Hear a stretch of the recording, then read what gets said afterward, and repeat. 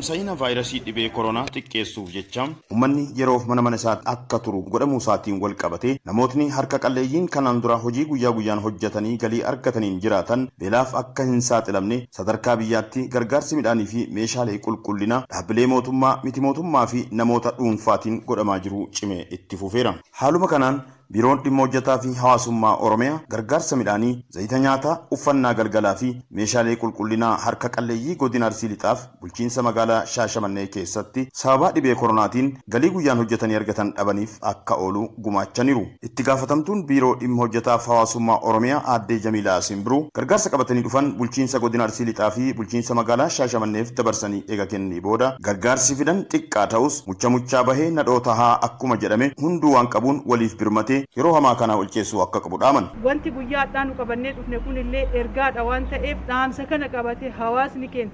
abbootiin qabeenyaa hawaasni bal'aan dargaggeessi keenya hayyoonni keenya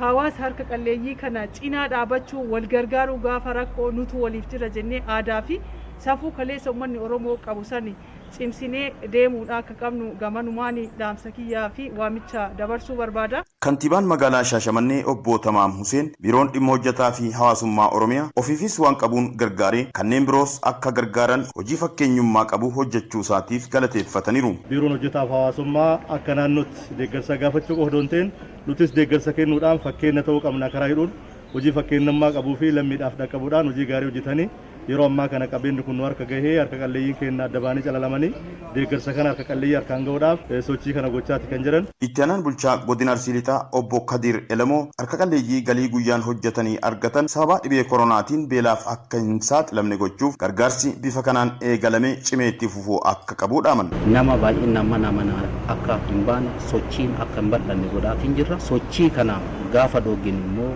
rakkataa keenya qarqaaru rakkataa keenya bira dhaabachuun rakkataan keenya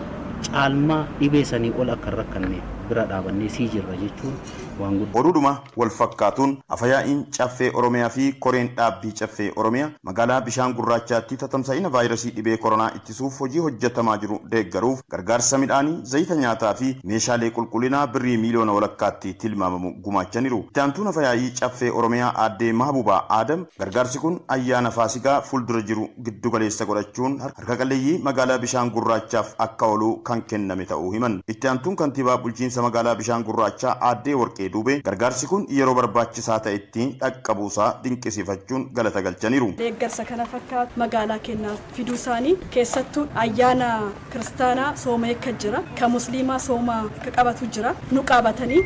deeggarsa akkana fiduu isaanii maqaa magaalaa bishaan gurraachaatiin ulfaadhaa galatooma isaan jechuu barbaada. Namoonni harka qalleeyyii gargaarsi kun dhufeef bakka bu'uun dubbatanis yeroo rakkoo akkanaatti lammiin lammiif yeroo birmatu arguun kan nama gammachiisudha jedhan. Of afottillee dhungaatiin rabbiin kadhataa akka bashitaa kun nurraa ka'u galatooma rabbi isinii haa kennuu jennaan. Salphina dhibee kanallee rabbi nurraa qabee isin haa dabarsuu walii qabaa